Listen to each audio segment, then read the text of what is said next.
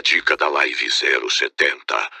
Cadê o menu, Jove? Cadê o menu, cara? Como é que eu faço pra botar essa parada na tela, pô? Como é que eu faço, cara? Eu vou chorar. Eu vou ir no meu módulo. Eu vou criar uma sub geral dizendo o seguinte: menu. E aqui no meu menu, eu vou dizer o seguinte: userform 1, a primeira, no caso a caixinha, ponto show. Será que vai funcionar? Será? Vamos ver. Vou pegar aqui o botão direito, atribuir macro, tirar do atualizar e botar agora no menu. Cliquei aqui no menu, certo? Pronto. E aí, pessoal, que rufem os tambores e pego aqui agora o nosso carinhoso menu. Apareceu o menu. Me segue e leia a legenda para saber mais sobre essa dica.